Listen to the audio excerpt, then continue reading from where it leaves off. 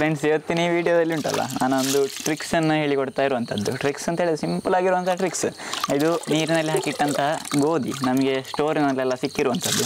ಇದರಲ್ಲಿ ಉಮ್ಮಿ ಎಲ್ಲ ಇರ್ತದೆ ನೋಡಿ. ನಾವು ಸಾಮಾನ್ಯವಾಗಿ ಎಲ್ಲ ತಿಂಡಿಗೆ ಮಾಡಲಿಕ್ಕೆ, ಪಾಯಸ ಮಾಡಲಿಕ್ಕೆ, ದೋಸೆ ಮಾಡಲಿಕ್ಕೆ ಎಲ್ಲ ಮಾಡುವಾಗ ಇದರ ಉಮ್ಮಿ ತೆಗೆದು ಯೂಸ್ ಮಾಡಿದರೆ ತುಂಬ ರುಚಿಯಾಗಿರ್ತದೆ ಮಾಡುವಂಥ ಐಟಮ್ ಹಾಗಾಗಿ ಇದರ ಉಮ್ಮಿಯನ್ನು ತೆಗೆಯುವುದು ಹೇಗೆ ಅಂತೇಳಿ ಇವತ್ತಿನ ವಿಡಿಯೋದಲ್ಲಿ ನಾನು ತೋರಿಸಿಕೊಡ್ತಾ ಇರುವಂಥದ್ದು. ಸಿಂಪಲಾಗಿ ತೆಗಿಲಿಕ್ಕೆ ಆಗ್ತದೆ. ಹೇಗೆ ಅಂತೇಳಿ ನೋಡುವ. ಎಲ್ಲರಿಗೂ ಕೂಡ ತೆಗಿಬೋದು ನೋಡಿ. ಪೇಟೆಯಲ್ಲಿರುವವರಿಗೆ ಕೂಡ ತೆಗಿಬೋದು. ಹೇಗೆ ಅಂತೇಳಿ ನೋಡುವ ಇವತ್ತಿನ ವಿಡಿಯೋದಲ್ಲಿ. ಫ್ರೆಂಡ್ಸ್ ನಾನು Sudarshan Bhat Bedradi welcome back to Bhat Bhat channel ಈ ಗೋಧಿ ಉಂಟಲ್ಲ, ಇದು ಒಂದು ಗಂಟೆಗಳಷ್ಟೊತ್ತು ನೆನೆಸಿಟ್ಟಂಥದ್ದು ಇದನ್ನೀಗ ಒಮ್ಮೆ ಚೆನ್ನಾಗಿ ತೊಳೆದೆ. ಇದನ್ನು ನೀರೆಲ್ಲ ಈಗ ಚೆಲ್ತಾ ಇದ್ದೇನೆ ಬುಡಕ್ಕೆ. ಗಿಡ, ಹೂವಿನ ಗಿಡಗಳಿದು.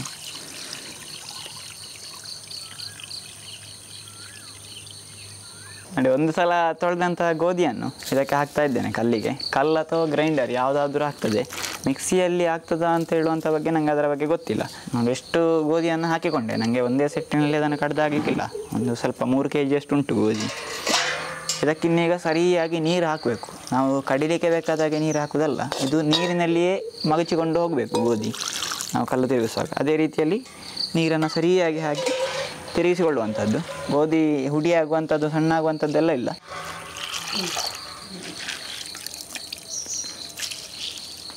ನೋಡಿ, ಕಲ್ಲಿನಲ್ಲಿ ಫುಲ್ಲು ಗೋಧಿಯನ್ನು ಹಾಕಿ ಕಡಿದುಕೊಳ್ತಾ ಇದ್ದೇನೆ. ಗ್ರೈಂಡರ್ನಲ್ಲಿ ಬೇಕಾದರೂ ಮಾಡಿಕೊಳ್ಬೋದು. ಗ್ರೈಂಡರ್ನಲ್ಲಿ ಆದರೆ ಅದರಲ್ಲಿ ಹಾಕುವಂಥ ಒಂದು ಸ್ಪ್ರಿಂಗ್ ಉಂಟಲ್ಲ, ಆ ಸ್ಪ್ರಿಂಗನ್ನು ಸ್ವಲ್ಪ ಜಾಸ್ತಿ ಟೈಟ್ ಮಾಡಲಿಕ್ಕಿಲ್ಲ. ನಾವು ಮಾಮೂಲಿ ಅಕ್ಕಿ ಎಲ್ಲ ಕಡಿಯುವಾಗ ಟೈಟಾಗಿ ಮಾಡಿ, ಹಾಕಿ ಮಾಡ್ತೇವೆ ಕಡಿತೇವೆ. ಆ ರೀತಿಯಾಗಿ ಅಷ್ಟು ಟೈಟ್ ಆಗೋದು ಬೇಡ. ಲೂಸಾಗಿ ಹಾಕಿಕೊಂಡು ಇದೇ ರೀತಿಯಲ್ಲಿ ಫುಲ್ ನೀರು ಹಾಕಿ ಕಡಿದುಕೊಂಡ್ರೆ ಆಯಿತು. ತಿರುಗಿಸಿಕೊಳ್ಳುವಾಗ ಅದರ ಸಿಪ್ಪೆ ಮಾತ್ರ ಬಿಟ್ಟು ಬರ್ತದೆ ನಿಮಗೆ.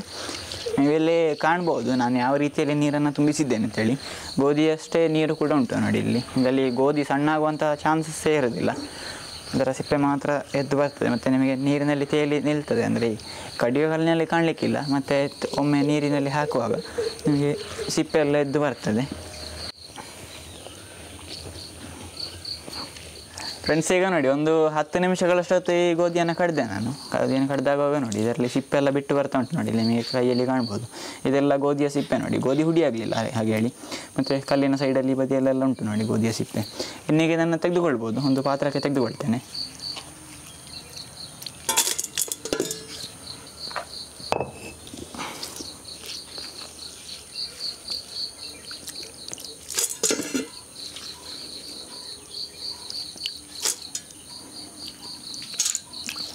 ನೋಡಿ, ಇದರಲ್ಲಿ ಈಗ ಉಳಿದಂಥ ನೀರು ಉಂಟಲ್ಲ ಇದೇ ನೀರಿನಲ್ಲಿ ಇನ್ನೊಂದು ಸೆಟ್ಟು ಕೂಡ ಹಾಕಿ ಕಡಿತಾ ಇದ್ದೇನೆ.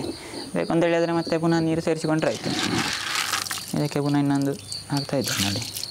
ಎಲ್ಲ ಗೋಧಿಯನ್ನು ಕೂಡ ಇದೇ ರೀತಿಯಲ್ಲಿ ಉಮಿ ಜಾರಿಸಿಡುವಂಥದ್ದು ಕಡ್ದು.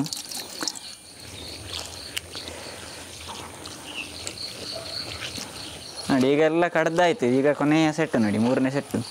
ಈಗ ನೋಡಿ, ನೀರು ಸ್ವಲ್ಪ ಕಡಿಮೆ ಹಾಕಿ ಕಡ್ದದ್ದು. ಅದನ್ನು ನೋಡಿ, ಒಳ್ಳೆ ಸಿಪ್ಪೆ ಎಲ್ಲ ಬಿಡ್ತದೆ.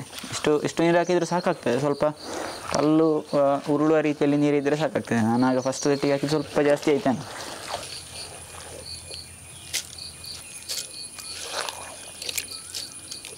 ನೋಡಿ, ಇನ್ನೀಗ ಈ ಗೋಧಿಯನ್ನೊಮ್ಮೆ ತೊಳೆಯುವ ತೊಳೆದಾಗ ನೋಡಿ, ಅದಕ್ಕೆ ನೀರಿಗೆ ಹಾಕಿದಾಗ ಅದರಲ್ಲಿರುವಂಥ ಉಮಿ ಎಲ್ಲ ಚೆಂದ ಬಿಟ್ಟು ಬರಲಿಕ್ಕೆ ಉಂಟು ಸ್ವಲ್ಪ ನೀರಾಗಿ. ಇದಕ್ಕೆ ಹಾಕ್ತಾ ಇದ್ದೀನಿ.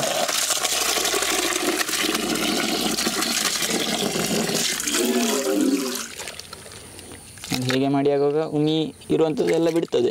ನೀರನ್ನು ಇನ್ನು ಕಚ್ಚಿಗೆ ಹಾಕಿಕೊಳ್ಬೋದು ಒಳ್ಳೆ ಅಂಶ ಉಂಟು ನೋಡಿ ಇದರಲ್ಲಿ. ಇದನ್ನು ಒಳ್ಳೆ ಹಾಲು ಕೊಡ್ತದೆ. ಎಲ್ಲ ಅಡಿಯಲ್ಲಿ ಉಂಟು ನೋಡಿ. ಈ ರೀತಿಯಾಗಿ ಸ್ವಲ್ಪ ಸ್ವಲ್ಪ ಬಿಟ್ಟು ಹೋಗಿದೆ. ನೋಡಿ, ಇನ್ನೂ ಕೂಡ ಇದರಲ್ಲಿ ಸುಮಾರು ಇರ್ತದೆ ಅದು ಇನ್ನೀಗ ಇದನ್ನು ಒಣಗಿಸ್ಲಿಕ್ಕೆ ಉಂಟು ಒಣಗಿಸಿ ಆದಮೇಲೆ ಮತ್ತೆ ಹೋಗುವಂಥದ್ದು.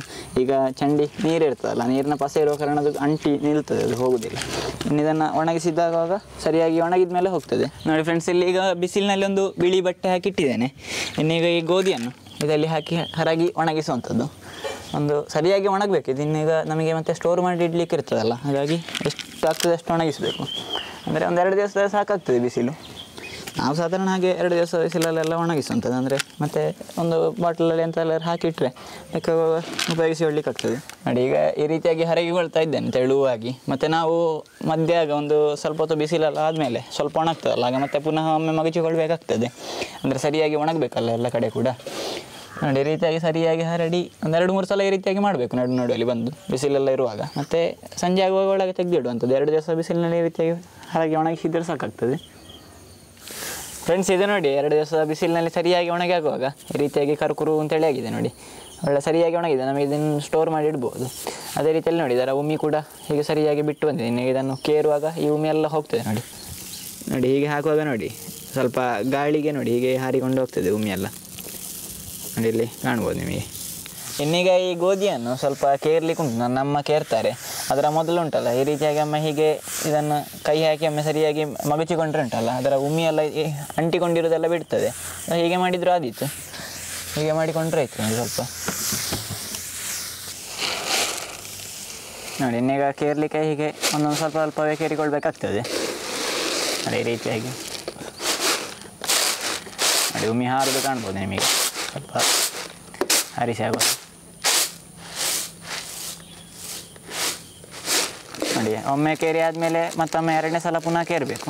ಆಗ ಪುನಃ ಒಮ್ಮೆ ಕೈಯಲ್ಲಿ ಈ ರೀತಿಯಾಗಿ ಮಾಡಿಕೊಂಡ್ರೆ ಅದರಲ್ಲಿರುವಂಥ ಅಂಟಿಕೊಂಡಿರುವ ಉಮಿ ಎಲ್ಲ ಬಿಡ್ತದೆ. ಪುನಃ ಕೇರಿದರೆ ಆಯಿತು ನೋಡಿ. ನೋಡಿ, ಹಾರದು ಕಾಣ್ಬೋದು ಉಮಿ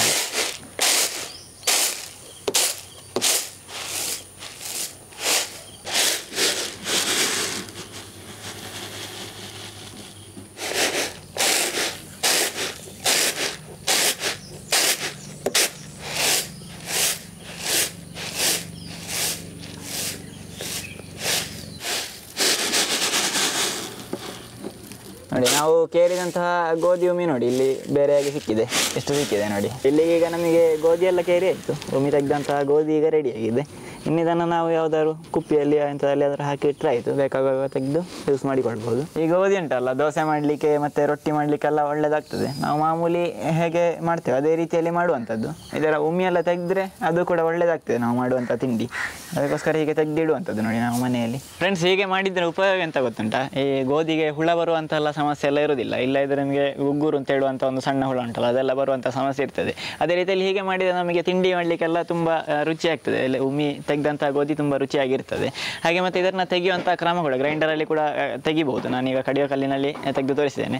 ಮತ್ತು ಇದಲ್ಲದೆ ಬೇರೆ ಏನಾದರೂ ವಿಧಾನ ಇದ್ದರೆ ನೀವು ಕಮೆಂಟ್ ಮೂಲಕ ಖಂಡಿತವಾಗಿ ತಿಳಿಸಿ, ನಮಗೆ ಕೂಡ ಗೊತ್ತಾಗ್ತದೆ.